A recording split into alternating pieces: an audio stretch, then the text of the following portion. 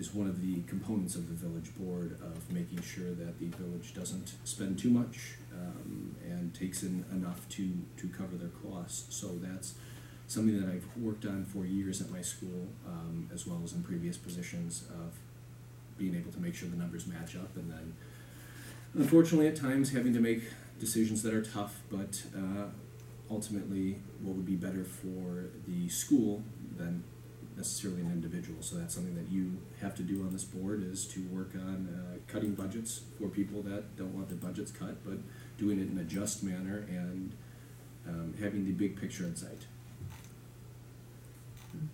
What is the overriding reason that you want to serve in the position of trustee, and how can you contribute to this service? I, I think one of the most important uh, components of citizenry is being involved.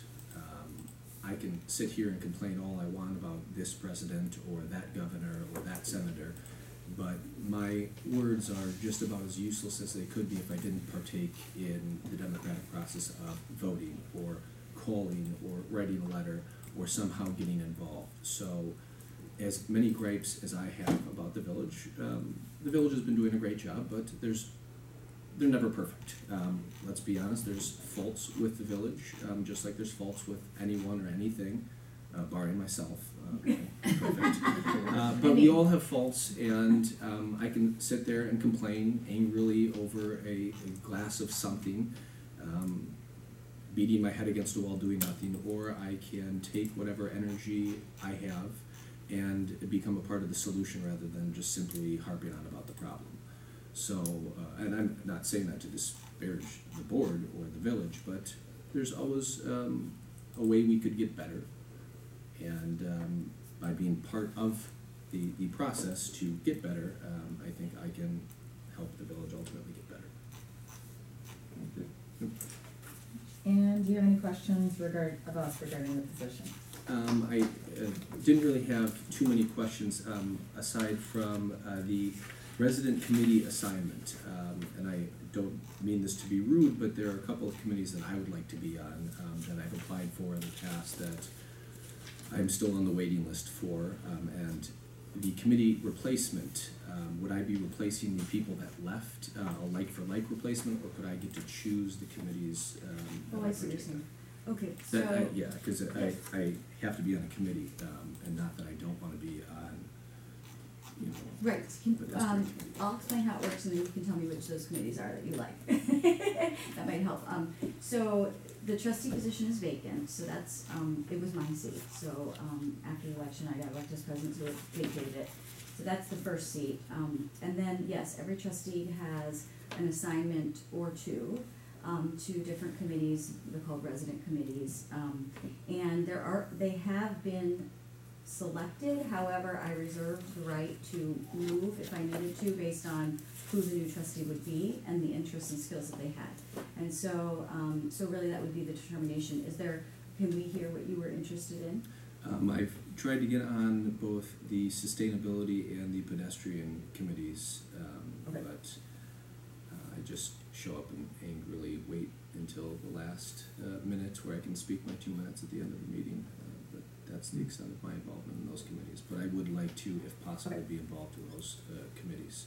And and the liaison is there really just to report Yeah, I'm back not to the board? criticizing No, no, no, what I'm saying is that it, you're not there to be on the committee, you're Correct. there as a observer to the resident committee to report mainly back to Correct. the board. Right. Okay, excellent. And I, do you have a follow-up? No, I think he answered it. Okay. I, I answered all your questions before you asked them. That's, that's how talented I am. I had one follow-up question. You had mentioned that there are some things that you've noticed that you would like to work on to change, to bring, you know, instead of complaining, but what would those be? Um, I look at uh, the village not necessarily from a fiscal point of view, but I look at it from an environmental point of view. I think um, the bioswale systems that we put on Capitol Drive during the reconstruction are great, uh, but that is a very small step towards what we could be doing. And I know this is a big dream, but I've had dreams for a long time of um, we have a, a duplex conversion um, program in the village. We also have um, like a, a third story conversion program. If uh, all if we converted all of the um, flat topped roof buildings on Oakland Avenue. Instead of having a giant two thousand ten, um, flooding that we had, we convert those all to, uh, some sort of green roof system, or even paint them all white, which would reduce the, um, island heat effect in Shorewood itself and reduce the, the temperatures on the street.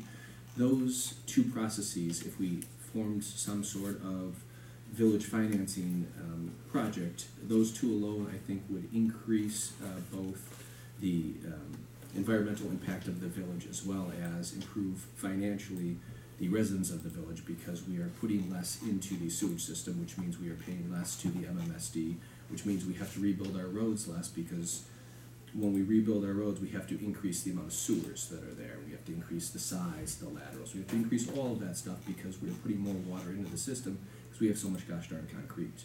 If we just put green roofs or uh, painted every single roof in the village white, that would reduce the heat in the village, which would increase or decrease the amount of energy we have to use um, in the summer in terms of air conditioning that is something uh, that I would like to see done. I'd like to see the village vehicles uh, converted to um, less wasteful village. I'd honestly like to see the police officers that are parked at Starbucks turn their cars off when they go inside.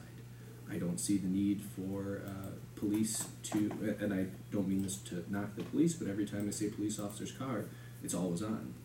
Um, why can't they turn it off when they go um, at Starbucks at five in the morning when they open? Or why can't the village inspector who's sitting outside my house turn his car off while he sits outside my house for twenty minutes?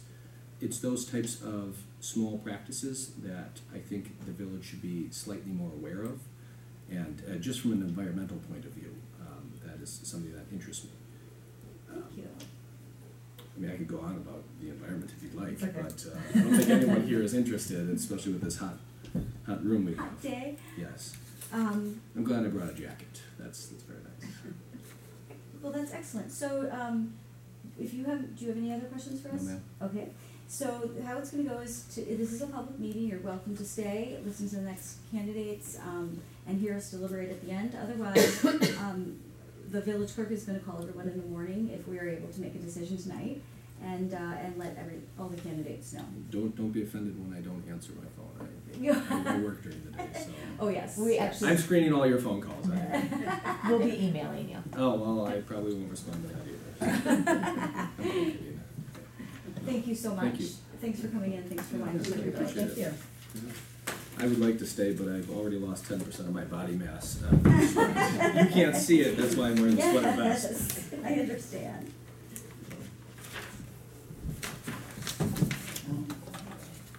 Thank you. Yeah, thank you so much. Thanks, Sarah, nice to meet you. Nice to meet you. And then, do we just have Mackenzie on video, is that right? Okay. Yeah, it's like not bad. No, he's in a hot seat. Yeah, yeah, I know, when you're, s- yeah, it's hard. You know, also, we should reduce the size of our sidewalks like Whitefish Bay, because really, I mean, it's a trick though, because then you, we're a walkable village and we wanna have a Yeah. welcoming spot for people to navigate, but we would, if we decrease the concrete, I'm not saying we should do this, but that's an option to look at. It's cheaper to replace, Yep. but then you'd have to do the whole village, so it's kind of. And you do it in stages. Yeah, but you can't go like this. Right, right.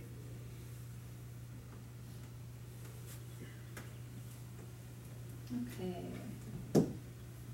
I hate when you do stuff like that. Everyone ready? You know? I was eating myself. You like that. Oh, you're doing it again. It actually oh. doesn't get Oh. up that loud, so, Wow, yeah. okay.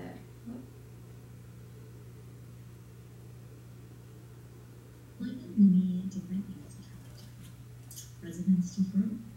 I believe that a lot of our residents are born here, and a lot of residents that have decided to either stay here or who have returned here is because they had a great experience being raised here, and the government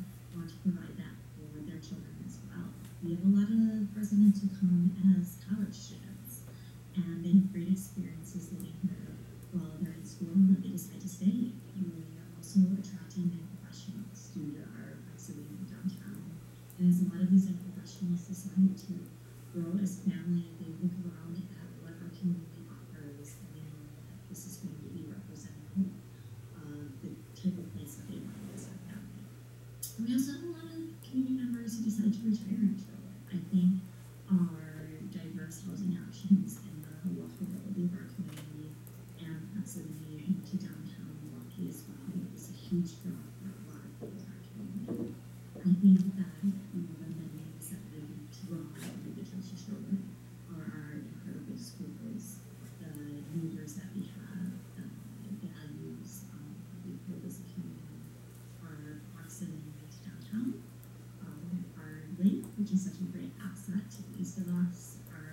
spaces, whether that be um, who are parks or are unfortunately on the streets, the safety that we have as a community, our police and fire services, and the quality of our comprehensive services and our diverse businesses. And we have great businesses, and the businesses um, the third of our communities, our local businesses, give so much both to education organizations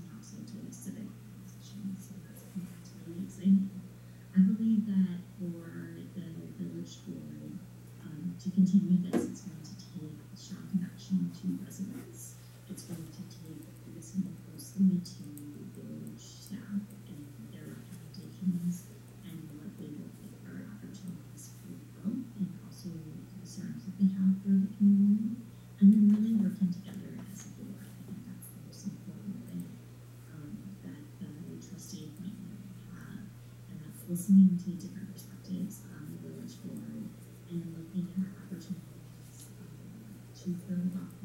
ideas and to also be challenged by others' ideas. I think that when we're challenged with diverse perspectives, what happens is that we either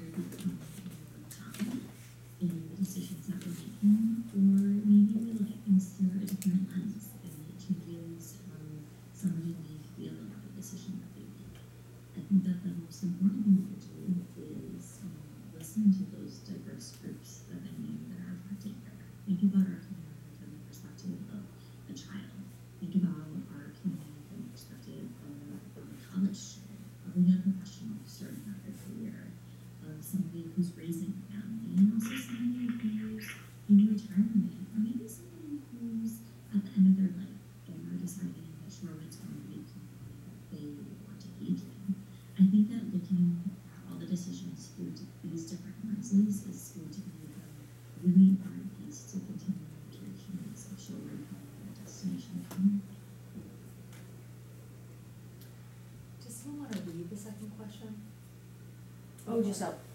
Sure. The second question is what skills have you acquired or life experiences have you had which make you well matched to the duties and responsibilities of a village trustee? And this doesn't get any longer without this? I know. I'm trying. No. Wait, sorry. Okay. Meetings and Sam. Um, that helped to prepare me for an opportunity to serve on the village board was one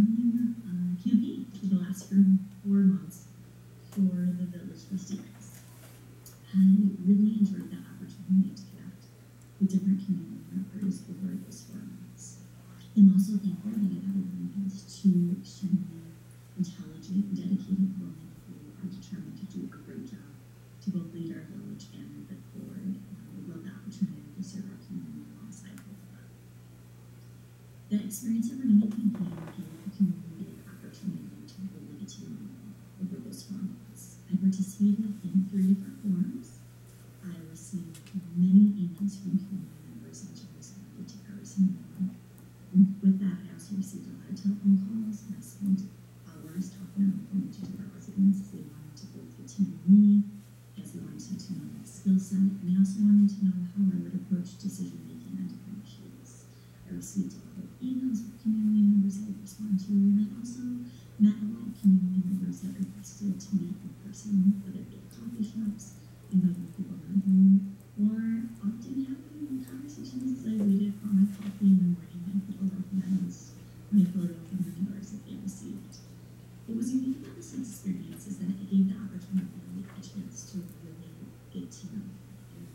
Extremely how it a first time family, how close her race was, and I think it shows that as a community, there's been three great people to choose from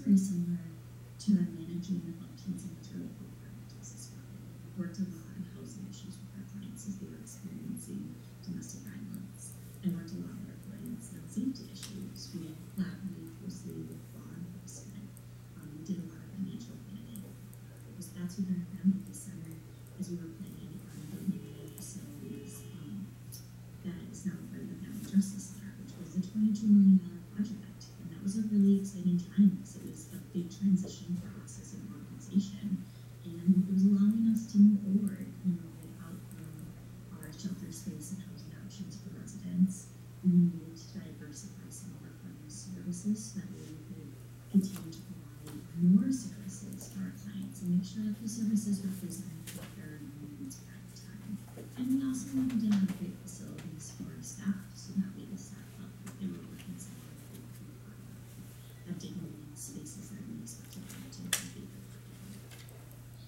traditionally knew I served three terms of a miracle service. And what that service taught me was that listening to the individuals of the families that represent and each of their voices had a seat at the table was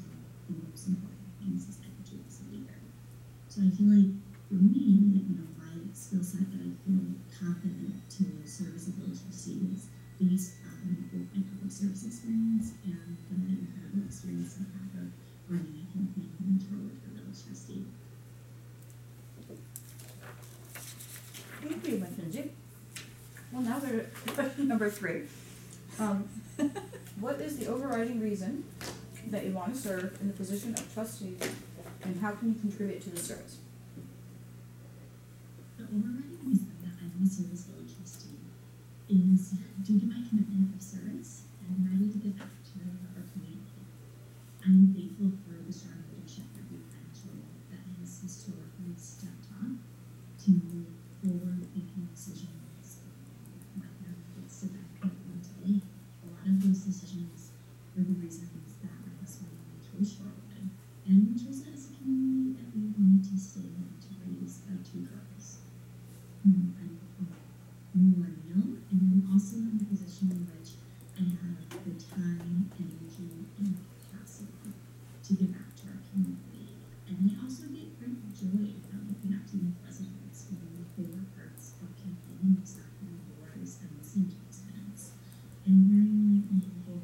questions that they've about and how to make sure that they continue, and also to hear what their concerns were, so that way the concerns were represented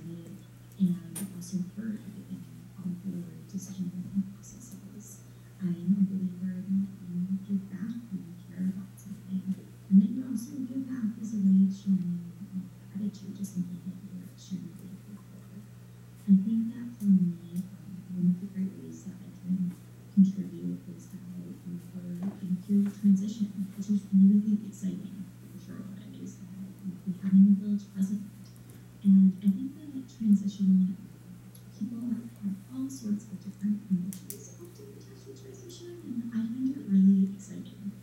I historically worked at organizations during times of great change in transition, especially transition leadership. I worked at Sojourner Family Peace Center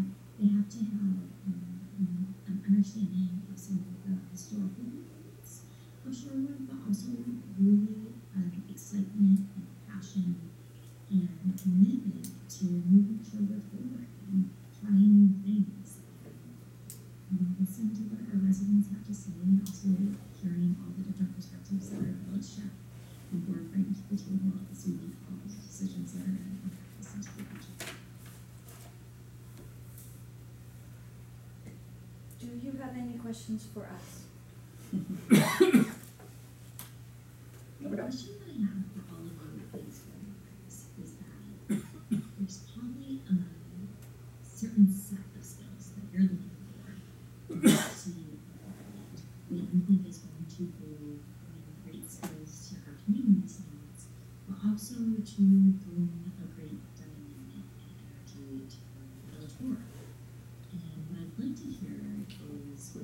Thank.